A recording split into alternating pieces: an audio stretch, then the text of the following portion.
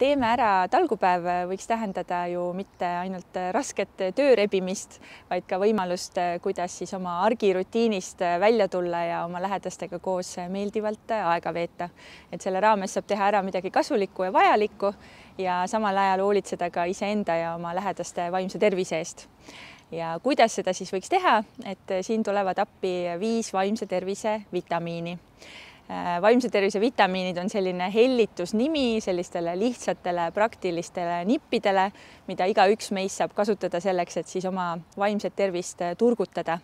ja me jaotame nad viide kategooriasse, milleks on äh, toetavad suhted, meeldivad tunded, tasakaalustatud toitumine, uni ja puhkus ja füüsiline liikumine ja igas selles valdkonnas saab siis teadlikult selliste hästi lihtsate praktiliste nippidega äh, oma vaimset tervist äh, toetada ja neid nippe on võimalik vaadata peaasi.ee lehel ja ka teemeara.ee lehel. aga ma toon ka siin välja siis äh, mõned näited, et kuidas talgupäeva jooksul võiks neid nippe kasutada ja alustamegi siis esimest vitamiinist, milleks on toetavad suhted. et äh, üks kindel viis, kuidas äh, talgupäeva jooksul suhteid toetada, on rohkelt naeratada kaastalgulistele, neid tänada äh, sellise koostöö eest. Ja lisaks sellele on praktiline tegevus ka hea viis, kus kõrval võib-olla mõnda tähenduslikku vestlust pidada, et rääkida mõnel enda jaoks ja ka kaastalgulise jaoks olulisel teemal meeldivate tunnete osaks, osas äh, võiks kasutada äh, ühte kindlat viisi meeldivate tunnete osakaalu suurendamiseks ja see on teiste abistamine, et kui ma näen selle päeva jooksul, et keegi vajab abi, siis see abi pakkumine ja ka abi saamine aitab meeldivaid tundeid kogeda.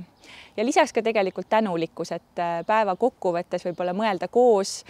kogu talguperega, et, et mille eest me võiksime täna olla tänulikud nüüd äh, une ja puhkuse osas võiks tegelikult äh, hakata valmistuma juba eelmisel õhtul, et äh, kõik talgulised võiksid saada sellise kosutava ööune ja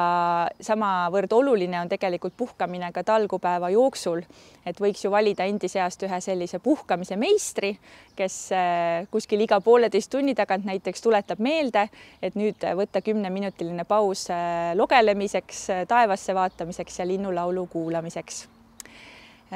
siis neljas vitamiin, mis on tasakaalustatud toitumine, et selles osas võiks mõelda äh, niimoodi, et toit võiks olla siis nii kütus kui ka nauding. Ehk siis äh, süüa talgupäeva jooksul sellist toitu, mis annab energiat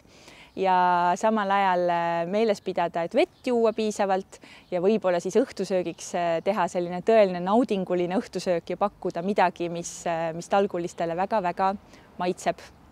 ja viiendaks siis see liikumine, et seda ilmselt äh, talgupäev pakub niikuinii, aga jällegi võiksin teadlikult äh, silmas pidada, et, ähm, et mitte olla väga palju sellistes sundasendites, mis võib juhtuda, kui me hakkame mõnda tööd tegema, et äh, teha mõnusalt sirutuspause ja